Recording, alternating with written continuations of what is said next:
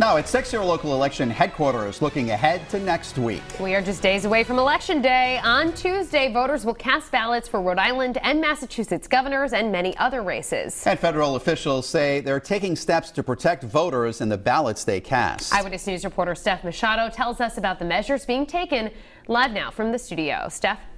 Rhode Island's U.S. Attorney's Office says, as always, FBI agents will be on hand to investigate any complaints of election fraud or voting rights abuses on Tuesday.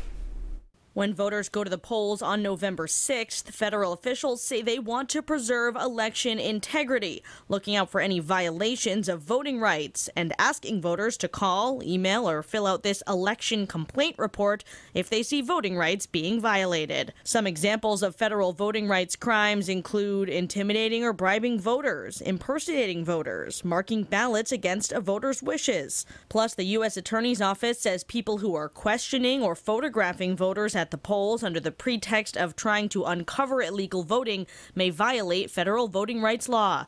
Voters have the right to mark their ballot themselves or choose someone to assist them if they need. And the U.S. Attorney's Office has a hotline set up for voters to call if they see any violations. The number is on our website. I'm Steph Machado, Eyewitness News.